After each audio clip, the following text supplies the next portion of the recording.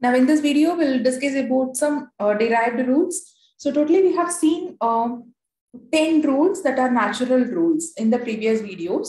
So derived rules in computational logic, like we have four more extra rules that are called derived rules. So the first one is like these rules actually derived from the natural deduction. Okay, first rule is a very important rule and that is called modus tollens. Modus tollens. Uh, this rule actually it is a uh, derivation based on an implication from the rule of implication.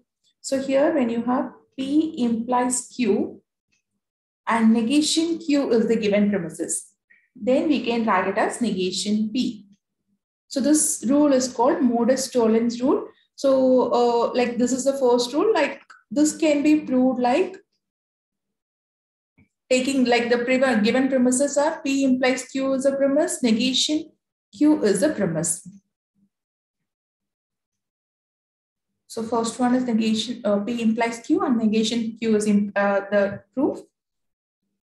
Given premises. Now with this step, we are going to take an assumption. We want to prove it as negation P.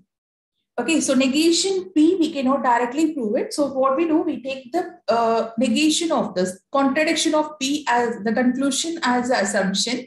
So we take P as an assumption. And with that, we are going to prove this modus tollens rule. So now see, according to these two rules, we can write this as like P is given and P implies Q is given, like with implies elimination of 1 and uh, 3 we can write it as Q. And uh, now what we can say for this step is we start with an assumption. See here, uh, negation P is given, negation Q is given and Q is also given. So it is not possible to have a state, a premise and its negation to be valid in the same state. So in that case, what we can say it is a false statement. We cannot have Q and negation Q to both to be valid. So that is not possible, right? So based on this negation, elimination of step two and four, we can write it as false. So we started with the assumption and we have proven that to be false here. We started with the assumption P and proven that to be false. So with that, we can write it as negation P. So this assumption is wrong. So it means that by contradiction, by uh, this negation insertion of uh, 3 to 5, we started with the assumption of P and derived to this false, derived that to false. So we can write it that the assumption that we have taken as false. So it is negation insertion of P. Based on this 3 to 5, we, had, we have written the statement. So this is called a modus tollens rule. So based on this implies insert uh, elimination, negation, elimination, negation, insertion, like the natural rules, we have derived this rule. So that is why we call it as a derived rule. So this is the first rule in this derived rule. And the second rule is proof by contradiction method.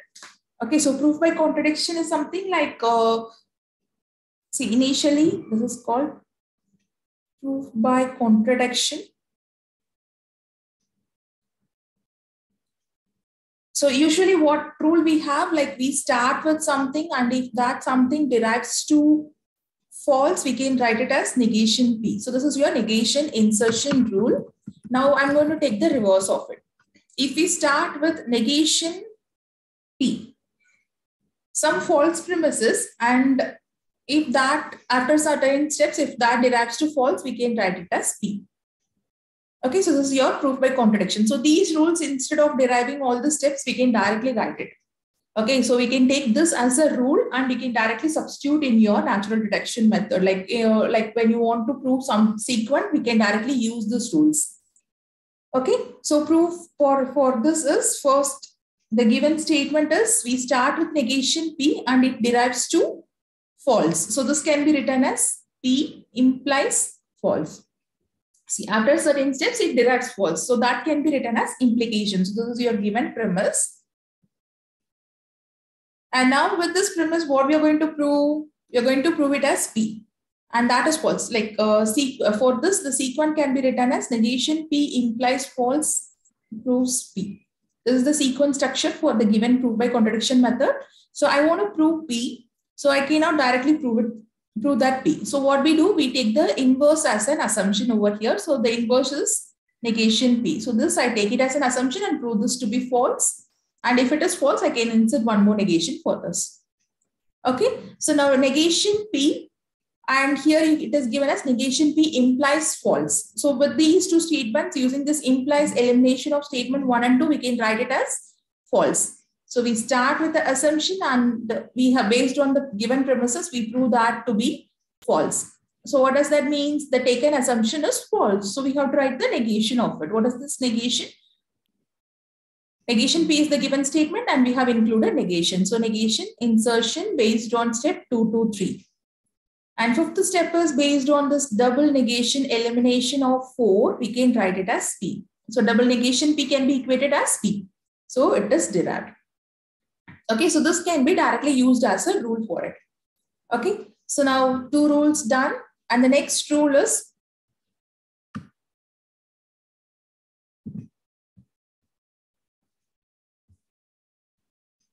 double negation insertion. So double negation elimination comes under your natural rule and to insert two negation, so double negation insertion can be done. So this is also, this is the type of derived rules.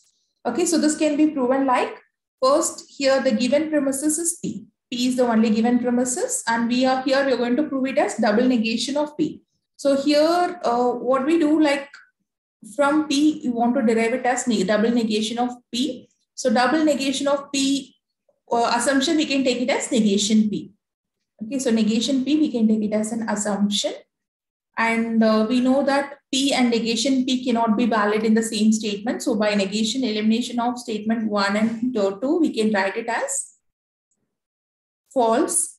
So we started with the assumption and that assumption tends to false. So what does that mean? Using negation insertion of step 2 to 3, we can write it as double negation of P. Okay, so this is your double negation insertion. This is one of the true derived rule. And the fourth important derived rule is called law of excluded middle portion. This is very important rule that need to be proven. So this is called law of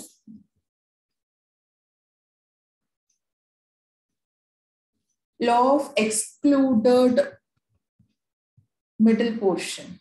Okay, law of excluded middle.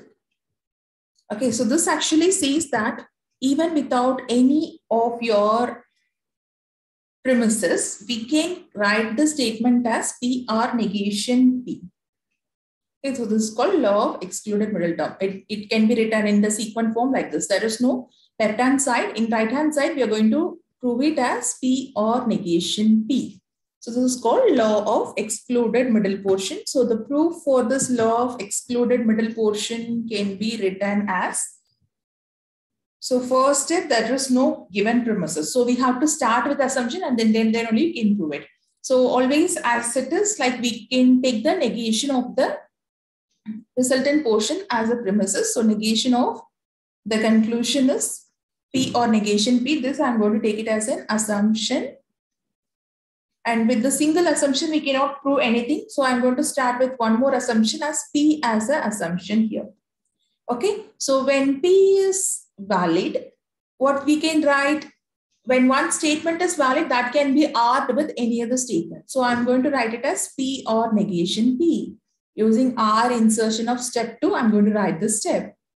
Okay, so now what we say, the given, uh, the taken assumption is negation P or negation P. This is valid. If this is valid, this is not possible. So both these two statements cannot be valid. So with this, we can write it as it is false. So it is based on the rule negation elimination of statement 1 and 3. Okay, so 1 and 3. One statement is as uh, uh, one is a proportional logic statement, another is the negation of the proportional logic statement. Both cannot be valid at a given time.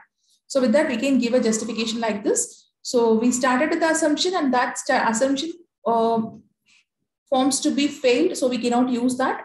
So we can write it as negation P. So this is negation insertion based on step 2 to 4. Okay, so now negation P is given. If negation P is given, we can write the statement like we cannot conclude it directly over here. The reason is we have to prove that like we have two assumptions only one assumption concludes over here Okay, so when negation P is given, we can write the statement as P or negation P. So negation P is valid. It can be combined with any other statement. So this is based on or insertion of statement 5. And the seventh step is here you have given it as P or negation P and the taken assumption is negation P or negation P. So this is not possible. So based on this negation, elimination of statement 1 and 6, we can say that it is not possible. So this is your this assumption is made to be false over here in this step. We start with assumption one and that is proven to be false over here. Okay, so with this we can write it as eighth step I write here. So it, with this we can say that the given taken assumption is false. So we can write it as negation of negation P or negation P. So this is based on your negation insertion from step 1 to 7. And ninth step is by double negation elimination, we can write the statement as P or negation P. So this is the conclusion that is needed. So even without any of your left-hand side, we can prove some of the conclusions. So this is called your law of excluded middle portion. Okay, so this is very important rule that does need to be known.